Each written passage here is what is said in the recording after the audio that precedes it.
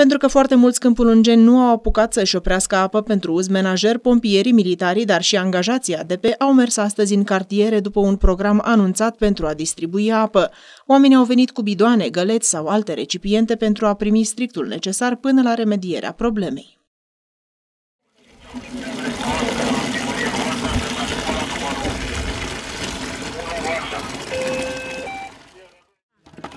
Pune, pune, pune, pune,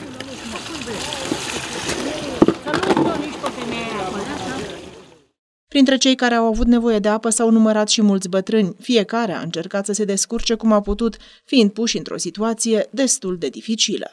Cum e fără apă? Foarte greu, ca în orice gospodărie. Stați la bloc? Nu, stau la casă. Și e greu să cărați apă?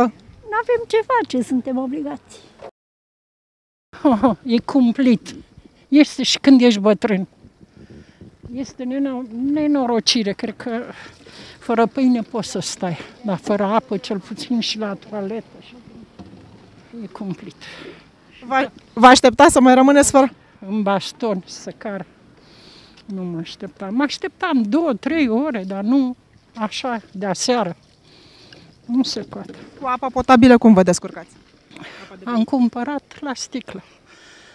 De mâncare nu facem nimic, așteptăm. E foarte rău, foarte rău. Stați la bloc? Da, da, la bloc. Și aveți nevoie la toaletă, la baie? La... Da, da, da. Am fost să caut, să cumpăr pentru băut și n-am găsit. Nu N-ați mai găsit nici... Nu mai găsit, da. Și acum vă ajută apa de la pompieri? Ne ajută că na, ne trebuie la baie, am cinci copii.